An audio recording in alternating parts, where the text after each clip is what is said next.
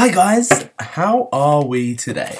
Do you like my? Do you like Brad? Me and me and Brad. What up?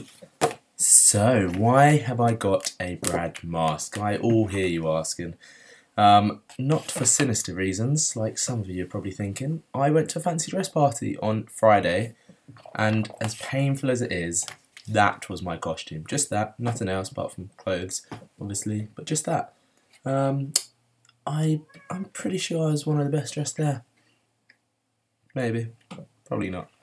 But um, it was a lot of fun. My friend Ed, who runs a Instagram account called Booze Bros, my brew, the Booze Bros, the Boo, the Booze Bros. I'll put a link in the description below. Amazing uh, account if you want to find like quirky bars and things like that. Really cool. There's three of them does it. My friend Ed, Pete, and Kush. Kush, great name, Kush.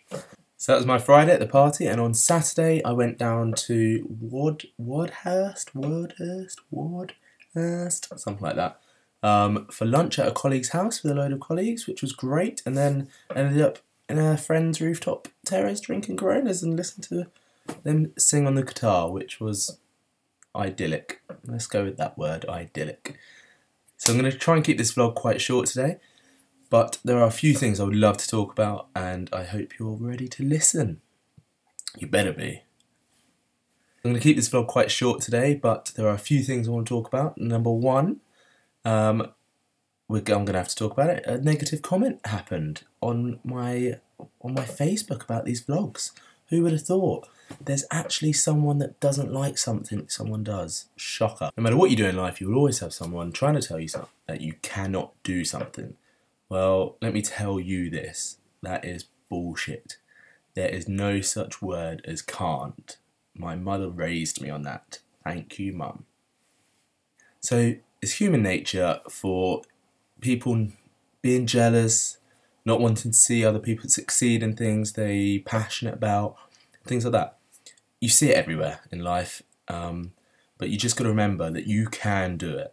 Okay? I know you can do it you know you can do it. If you believe in yourself, you can do it. And I believe that in my doing these vlogs that I'm going to benefit from them probably just because I'm going to become a better person from it. Um, I'm going to get more confident and things like that. You are the only one that can prove the doubters wrong. Remember that. No matter what you do in life, you can change the situation. So what are you waiting for? Go and do it. Alright? Just go. Just do it. You can do it, I can do it, everyone can do it. We all have that in ourselves to do something we love. Um, I love doing these vlogs, so I'm doing it. Simple as.